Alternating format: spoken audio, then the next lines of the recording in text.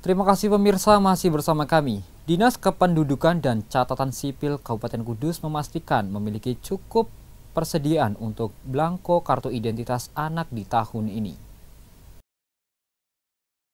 Dinas Kependudukan dan Catatan Sipil Kabupaten Kudus memastikan memiliki cukup persediaan untuk belangko kartu identitas anak di tahun ini.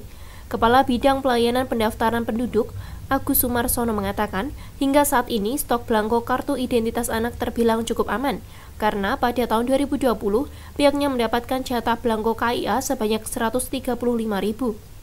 Di lain sisi, masyarakat yang mengajukan untuk pembuatan KIA di tahun ini relatif sedikit dibandingkan dengan tahun lalu, sehingga pihaknya akan melakukan pelayanan jemput bola dengan mendatangi sekolah-sekolah yang ada di Kabupaten Kudus. Pihaknya juga menambahkan sejauh ini sudah 85% anak di Kabupaten Kudus telah memiliki KIA dari jumlah anak di Kudus sebanyak 230 ribu lebih.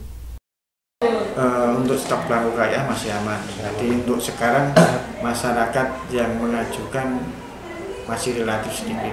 Jadi untuk yang KIA, untuk awal-awal kemarin yang di tahun 2019 masih sempat mudah, tapi saat ini pemohon sedikit 85% total dari dari jumlah KIA anak itu sekitar 200 ribu sekian sekitar 230-an ribu.